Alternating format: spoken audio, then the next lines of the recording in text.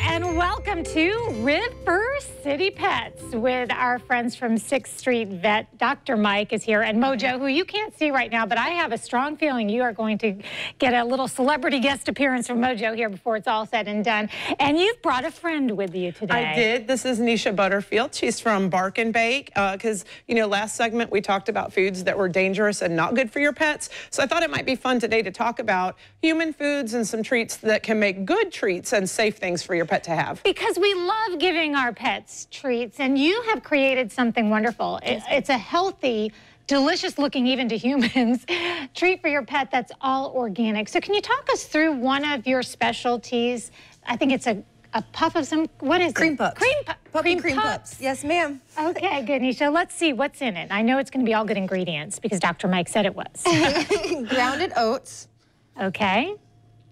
And then you would add your water and coconut oil. Mm-hmm. And then you would stir it all together. Usually I have a mixer, so don't make fun of me. okay, so yeah, because you want it to be nice and correct, smooth, Correct, correct. It, it, mixes about 10 minutes, and it gets okay. nice and firm.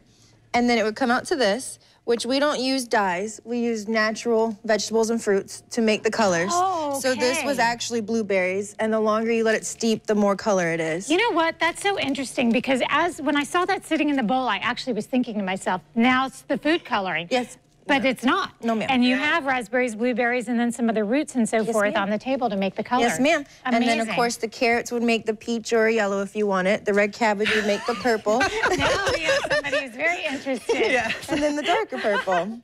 So Mojo wants to know, well, then what's next? And then you would obviously do the flavor that Mojo likes, which is the peanut butter, and another ingredient that I'm not going to mention. Okay. Because it's cream cheese. Oh. It's yumminess. And then Mojo would get his little cream puff. Look here. We might get him up on the table if we try. Look here. So now, are we counting calories for book. our pets, Dr. Mike? You know, everything in moderation, right? And so does Mojo get eight or 10 Bark and Bake treats a day? He'd like to, but he doesn't quite get quite that many. But a couple treats here and there is perfectly fine. And one of the things that's good to do is small treats like this for a big dog the act of getting the treat is what they love. So it doesn't have to be a huge thing every time you treat them. A couple little treats here and there makes, means just as much to them as some big one. And, and Nisha even is working on, she has some diet treats too yes, that are great. Reduced calorie treats, which yeah. is amazing. Oh, yeah. Because you shouldn't feel deprived. It's just like with Correct. human beings, I feel like, Correct. right? And it's quantity or quality over quantity, so.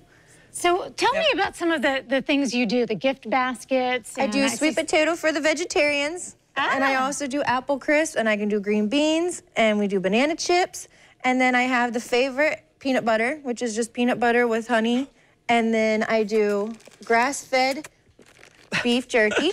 Oh, wow. So you're so you're sometimes coming across dogs that are eating probably better than their Correct. humans. Yes, ma'am. Yes, ma'am. But it's important. We love our animals, and we want to make sure that they are as healthy as we are. If we're trying hard, they should be trying hard too. Now, do you have a brick and mortar location? Or no, ma'am. I'm actually okay. just website based, and I do Fernandina every Saturday. Okay, well, wonderful. We're, we're going to make sure, by the way, that everybody knows how to reach you. And also now they know they know they can rewatch this and learn how to make some treats of their own.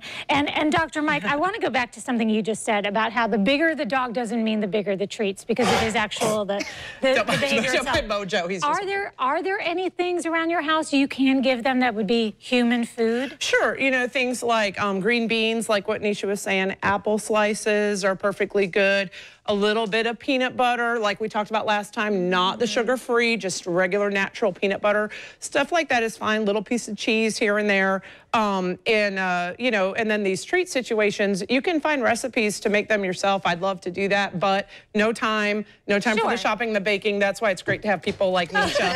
and, and Mo would, would definitely like more stuff from Nisha. oh, gosh, I wish we could have Mojo on for us for every segment we do from now on. Wouldn't that be amazing? like that if there's peanut butter. if you would like to contact Bark and Bake for a sweet treat for your pet, visit their website, barkandbake.com. And if you want to reach out to Dr. Mike like I did last week, I had something I just wanted to discuss. You can call 6th Street Vet, and the number there is 259 2200 and of course you can rewatch this segment on our website at rivercitylivetv.com so you can make your own treats if Good need boy. be thank you mojo yes thank, thank you, you mojo and, and thank you dr mike you're welcome